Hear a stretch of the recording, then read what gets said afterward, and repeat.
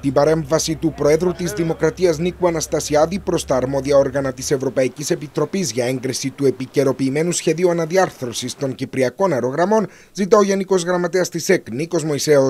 Σε επιστολή αναφέρει ότι στο πλαίσιο του διαλόγου που διεξάγεται μεταξύ της διεύθυνσης της εταιρείας και του συνδικαλιστικού κινήματος έχει επιτευχθεί συμφωνία με βάση την οποία στο νέο σχέδιο αναδιάρθρωσης των Κυπριακών αερογραμμών οι εργαζόμενοι αναλαμβάνουν επιπρόσθετες θυσίες προκειμένου να δημιουργηθεί προοπτική επιβίωση της εταιρείας. Μετά την τελική συμφωνία, δημιουργούνται νέες προποθέσει που πιστεύουμε ότι σας δίδουν το δικαίωμα ως Προέδρου της Κυπριακής Δημοκρατίας να παρέμβετε προς την Ευρωπαϊκή Επιτροπή και να ζητήσετε την έγκριση του νέου σχεδίου. Πράγμα το οποίο θα διασφαλίσει τη λειτουργία του Εθνικού Αερομεταφορέα με όλα τα θετικά συνεπακόλουθα, ενώ ταυτόχρονα θα διασφαλίσει 500 θέσεις εργασίας που θεωρούνται σημαντικές σε τούτη την δύσκολη περίοδο που περνάει η κυπριακή οικονομία.